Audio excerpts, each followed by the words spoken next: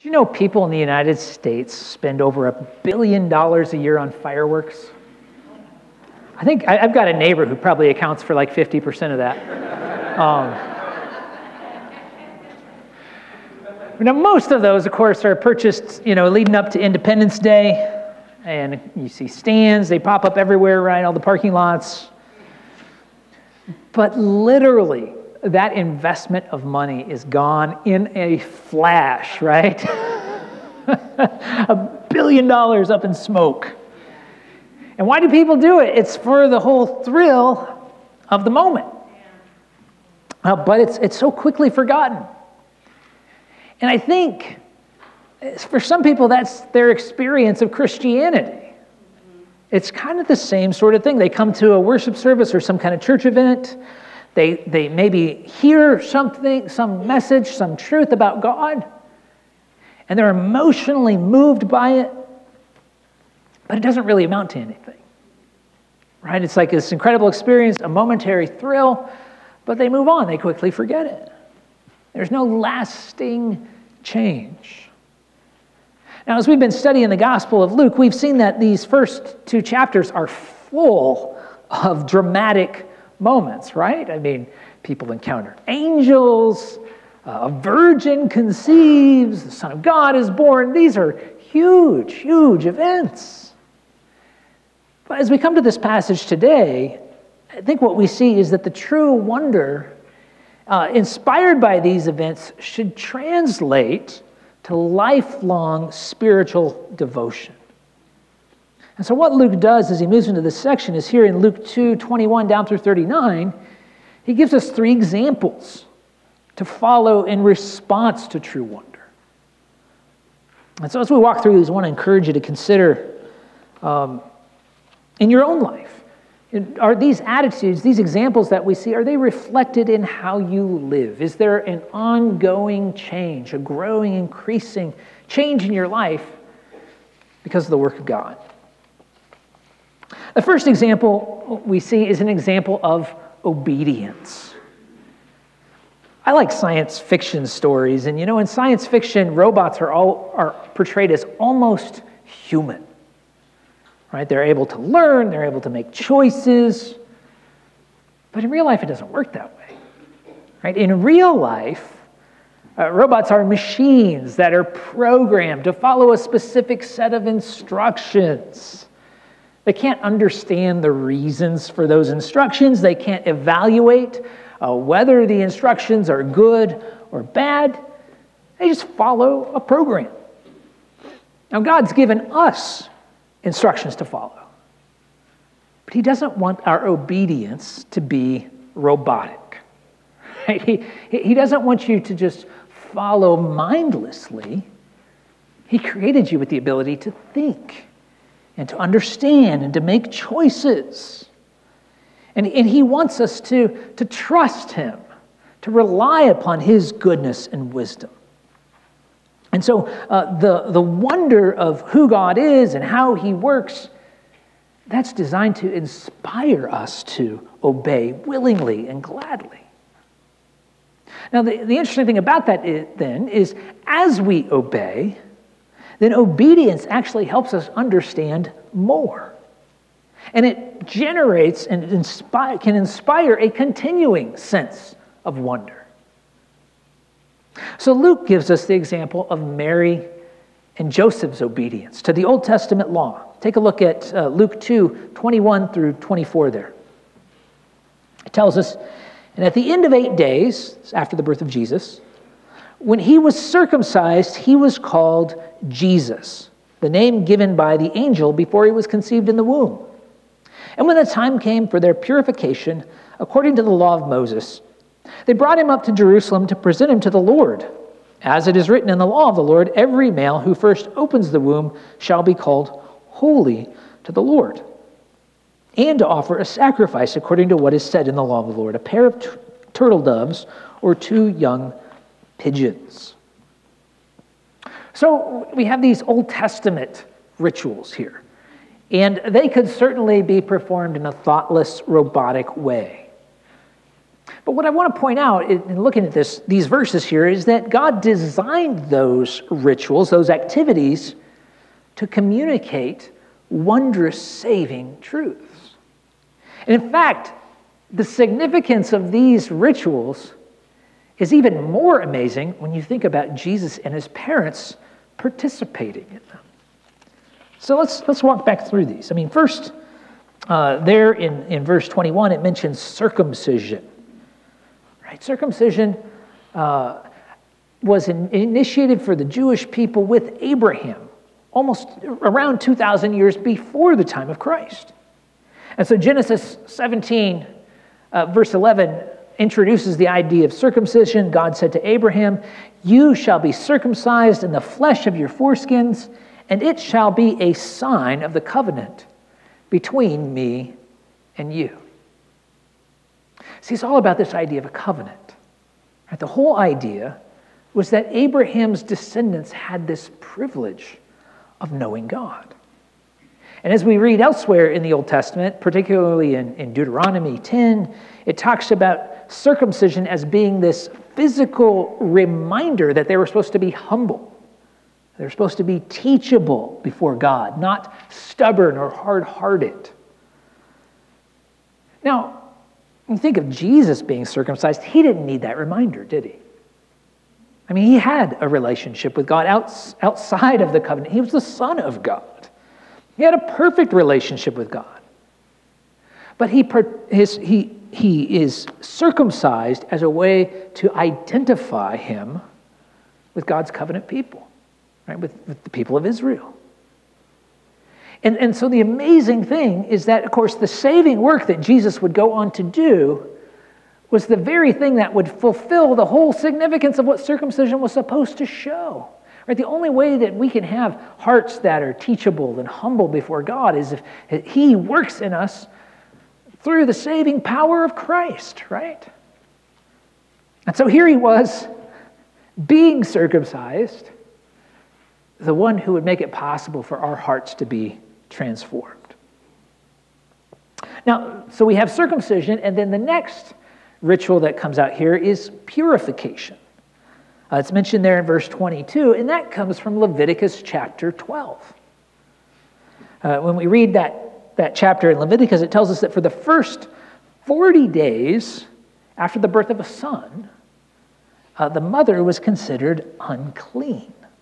So she couldn't participate in the ceremonies at the, at that point it was the tabernacle and then later on the temple. For a daughter, that time span was doubled. And so afterward, after that period passed, the mother was required to bring, it says in Leviticus 12, a lamb for a burnt offering and a pigeon for a sin offering to atone for her uncleanness. And it says, it adds at the end of Leviticus 12, if, if she cannot afford a lamb, she was supposed to bring two pigeons. So that's what Mary does. Right? She doesn't have, apparently didn't have the resources to offer up a lamb. And so she just offers up the two pigeons. Well, that whole idea of uncleanness, it's like, well, why did they do that? Why would, why would giving birth be considered unclean? What's the point of that? I mean, some people think, well, is it some hygiene thing? Well, I mean, when you read through the Old Testament, the significance of some of those rules about cleanness, it's never really stated clearly. But I suspect, now this is me, I think the point, uh, it points us to the reality that all sickness, all suffering in this world is a result of Adam and Eve's sin, right? It's not that there's anything immoral about having a child. That's not the point. But it, it is a result. We know sickness is, is a result of, of that first sin, not our individual sin necessarily. I mean, even the pain of childbirth, right? We go back to Genesis 3, verse 16. Part of the curse was that the woman would experience pain in, in giving birth. So here's the thing in the Levitical system of worship in the Old Testament, people were not allowed to draw near to, to God unless they were completely healthy. You see that in the qualifications for the priests and, and all of the different rules that they're, they're so confusing to us. But it's all designed to teach a lesson. I think what it points us to is what we find when we get to the end of the Bible. When we look at that time, that new heaven and earth, when the curse is removed, where there's no more sickness, there's no more physical suffering, right? We read about it in Revelation 21 and 22. The, the tabernacle was supposed to be an object lesson of that future time when God was present with us. So, of course, the irony here in, in our story is that here Mary is giving birth to the one who's going to fulfill that hope, but she still has to go through the ritual of purification. I mean, think about it. During his life, Jesus showed his power to heal. Why? As a preview of what awaits us in eternity. And then through his death, he provides the perfect atonement for all of our sins so that we can draw near to God without any hindrance, right? And then, of course, when he returns in the future, he'll conquer sin and death to lead us into that perfect existence in the presence of God, everything that the tabernacle and the temple was pointing to. And so here you have, you know, this little family going through this ritual, and there's so much behind it. Right? There's so much significance of what's taking place there. The third ritual that we see in the passage is uh, the dedication of firstborn sons. And that goes back to Exodus chapter 13, the whole story of the Passover. You remember that story, right? The 10 plagues uh, as the Israelites were in Egypt, and the last plague, the crowning plague to break uh, the stubborn uh, Pharaoh's heart, was the death of all the firstborns. And the idea was for the Israelites, by sacrificing a lamb and spreading its blood on their doorposts, uh, that uh, the avenging angel, as it passed through, the angel of the Lord, would not enter their home, would not, uh, would spare their household from this plague. But the stipulation that's given there is that in all subsequent generations, because of that Passover, firstborns were always supposed to be devoted to the Lord. And so what that meant was is with animals, the firstborn of an animal was supposed to be sacrificed. And with a firstborn son, they were supposed to be redeemed, right? To be uh, purchased in a sense. Right? And so the Jews were commanded in Numbers 18 verses 15 and 16, to bring an offering of five shekels of silver. And why? Because it was showing that, that object lesson of the story of redemption. So Luke doesn't mention anything about money here in, in Luke 2, but when it talks about them bringing Jesus to the temple to present him, that's probably what was happening. He was probably paying that redemption price. So think about, again, the irony of it. He's paying, you know, a little bit of money to redeem the Redeemer of all mankind, right? It's mind-blowing kind of idea, right? He's the, here's the Lamb of God, the true Passover. And this ceremony is designed to point back to that whole story, and yet at the same time to look ahead to what he would do. Now, you know, how much did Mary and Joseph understand about all these ideas, we don't really know. But what I want you to see is that these acts of obedience were designed to teach, they were designed to, to remind and instruct people. As New Testament believers, we're not under the law of Moses. We don't, we don't have to follow those rituals. But even in whenever we obey, I think there's always a sense of that ongoing teaching and learning and understanding who uh, God is. Paul talks about that in Romans 12, verse 2. He says, Do not be conformed to this world, but be transformed by the renewal of your mind, that by testing you may discern what is the will of God, what is good and acceptable and perfect. You see, true obedience is not supposed to be robotic. It's not just about a list, it's about a relationship with God. And the idea here is that as you obey, as you work through that and think through, you know, how to live your life, it helps you understand God and His will. It leads you deeper in your relationship with Him. And so, true wonder is not supposed to be just an experience that you have and then you move on. It's supposed to be something that leads to obedience. Have that example of Joseph and Mary. Now, the next example, as we continue on in Luke 2, is an example of waiting.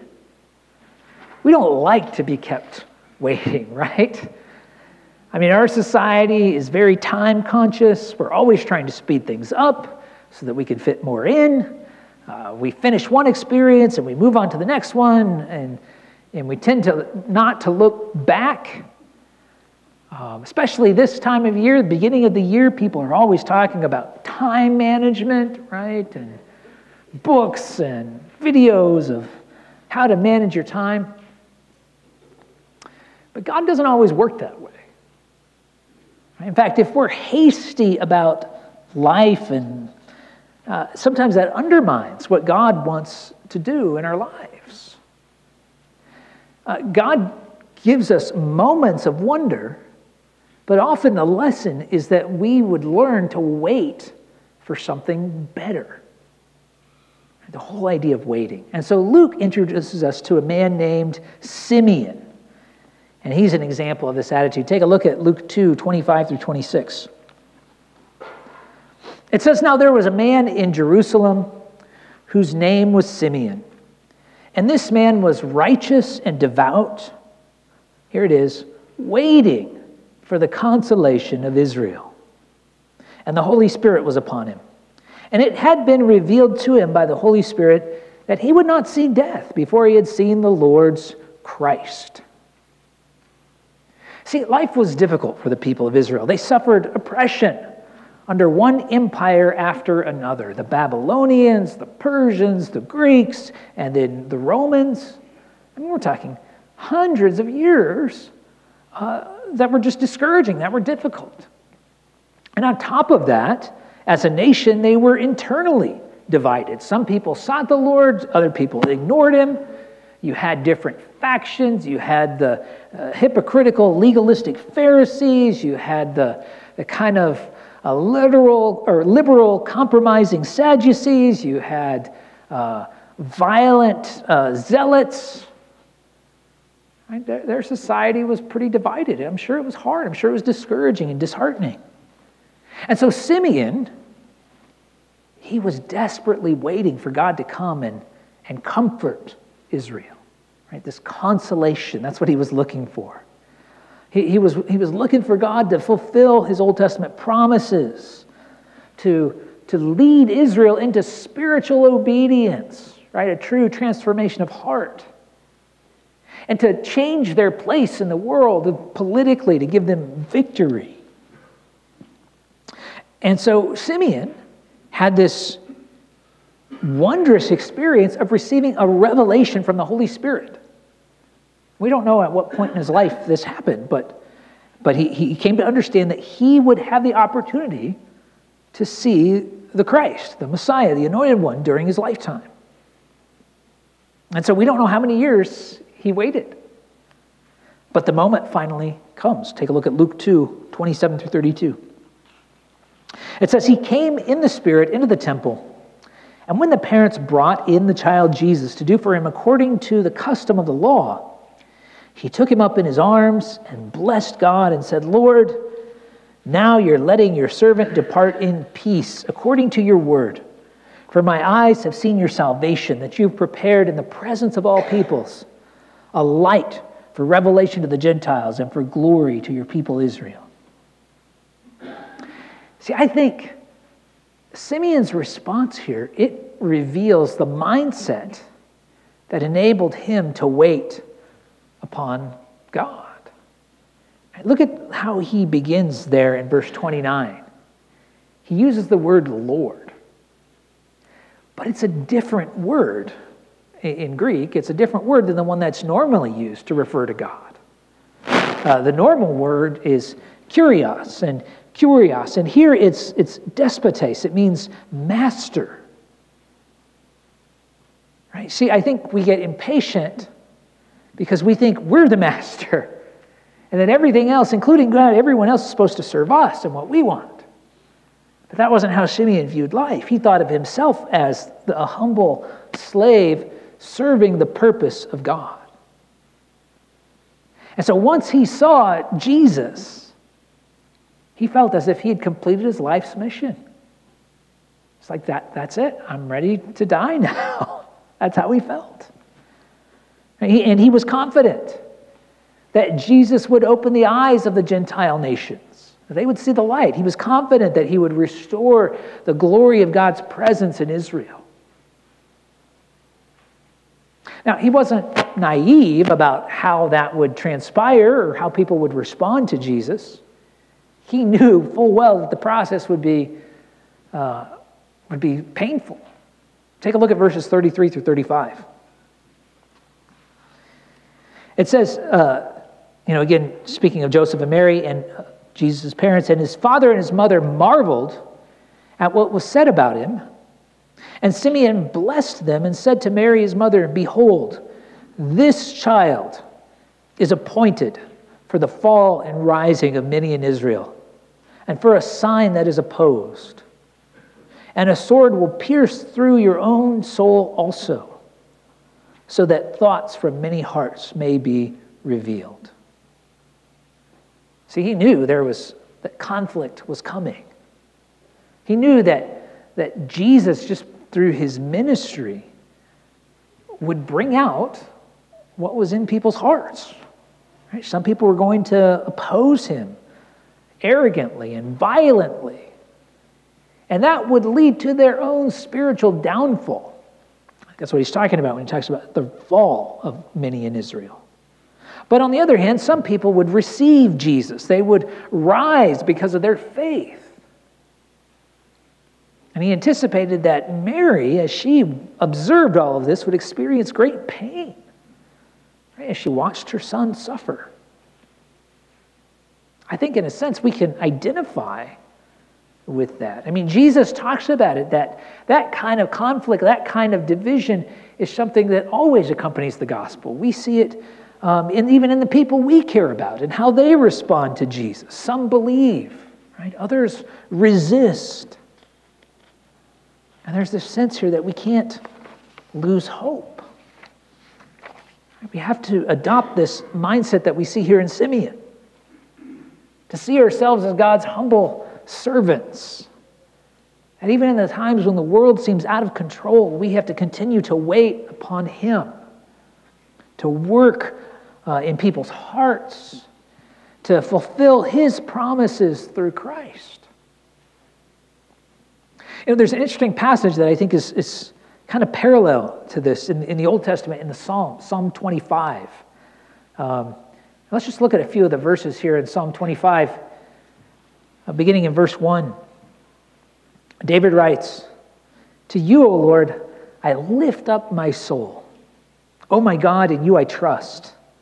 Let me not be put to shame. Let not my enemies exult over me. Indeed, none who wait, there it is, none who wait for you shall be put to shame. They shall be ashamed who are wantonly treacherous. And then he continues Make me to know your ways, O Lord. Teach me your paths. Lead me in your truth and teach me. For you are the God of my salvation. And here it is For you I wait all the day long. I mean, that's, those are good words for us, an example, an attitude, right? A perspective of how we look at life. We like to think that we can control everything. Even people around us, right? That we can manipulate circumstances and twist people's arms and get them to do things. And that's not what God wants. He wants us to wait upon Him. He wants us to trust. He wants us to rely upon Him and have this patient confidence God's going to, God's going to, to work according to His plan. And so when we have those moments where we, we learn about God, those moments of wonder, they should prompt us to, to respond like David did, to lift up our souls to God, to offer ourselves to Him in humble trust and service? Are you waiting upon the Lord? Is that a characteristic and attitude in your life? That's what we see here in Simeon. There's one more example in this passage, and it's an example of worship. You know, our light sources keep improving, right? These LED lights uh, that, that are the big thing now. I mean, manufacturers claim that they'll last like 50,000 hours. I mean, that's like, it's like turning on a light and letting it go for over six years. I mean, that's kind of crazy, almost six years. I mean, the old incandescent light bulbs, they were only supposed to last around a thousand hours. It's like seven months. And then, of course, if you go further back in history, right, when people used candles or oil lamps, I mean, you had to constantly be working to keep light burning. Well, when you think about worshiping God, worshiping God is more like an oil lamp than like an LED bulb. Okay, you don't, it's not like a moment of wonder flips on the switch and then the light lasts for years to come in terms of a relationship with God. That's not how it works. That spiritual spark that we experience sometimes has to be fed and maintained. In fact, it's interesting because in the instructions God gave Moses in building the tabernacle, they had this oil lamp in the, in the tabernacle and then later the temple. And it was supposed to be kept burning all the time. It always had to be filled and the wicks taken care of and all that sort of stuff. And so Luke, here in, in, in, as he finishes off this part of the story, he gives us an example of worship in a woman named Anna. Take a look at Luke 2 36 through 38. Luke says there was a prophetess, Anna, the daughter of Phanuel of the tribe of Asher. She was advanced in years, having lived with her husband seven years from when she was a virgin, and then as a widow until she was 84. She did not depart from the temple, worshiping with fasting and prayer night and day. And coming up at that very hour, she began to give thanks to God and to speak of him to all who were waiting for the redemption of Jerusalem. Now, it's interesting. The most common word for worship, as you read through the New Testament, it conveys the idea of bowing before someone. Uh, and so it kind of has the sense of, or at least it could refer to a one time act. But that's not the word that Luke uses here as he talks about Anna worshiping, he uses a word that kind of has the connotation of priestly service, right? As a lifelong calling. Now, Anna was not a priest, she wasn't even from a priestly family. And so she couldn't literally live in the temple courts. There was no way that she could do that. But the idea, I think, is that every morning and evening the priests would offer sacrifices, they would burn incense, they would take care of that lampstand in the temple. And, and when that happened, people would come to pray. And so Anna was sort of always there. Right? She took advantage of every opportunity to worship God. Now, I think what's interesting about that is you look at her life, and she lost her husband early in her marriage. Some people say she was 84 years old, that that's interpret the verse that way. Some people think it means she was she had lived 84 years after the death of her husband. She could have been much older. And so you think that could leave someone bitter. But you don't see that here with her. We see these activities Luke talks about that were part of her worship. First, it says that she fasted. Right? In other words, I think the way to think about fasting is that she was so wrapped up in worship, uh, she would just skip a meal. She would go without eating sometimes. Next, the idea was he simply says that she prayed. Right? In other words, she, she lifted her concerns and her needs to God. It was, she had this spirit of dependence upon the Lord. And then, thirdly, here in this moment, she gives thanks. Now, of course, that was probably prompted by seeing Jesus or by perhaps by hearing what Simeon was saying about him. But, I mean, it was also probably a, a, a habit that she had cultivated, right? She, she was in, she had the, the practice, the discipline of acknowledging God's blessings, of, of showing that kind of humble gratitude. And then, fourthly, she, you know, Luke says that she spoke to people. She began encouraging people that God's promises of redemption were going to be fulfilled. And so, what you see in Anna is that every part of her life really revolved around the worship of God. That's what it's supposed to be for all of us. Paul uses that same word, that priest like worship term, in Romans 12, verse 1. He says, I appeal to you, therefore, brothers, by the mercies of God, to present your bodies as a living sacrifice, holy and acceptable to God, which is your spiritual worship. Right? That captures what we're talking about. This, there's a sense of wonder when you first learn about God's mercy and grace, that how He provides for our forgiveness in Christ. But the understanding of those God's mercy then should lead to this response to offering up our lives to Him. And so we should be people who follow that example of Anna, who who do fast and pray and give thanks and speak truth. We should be devoted to the worship of God. So Luke concludes the story, uh, this story in verse 39, by directing our attention back to Joseph and Mary. Take a look.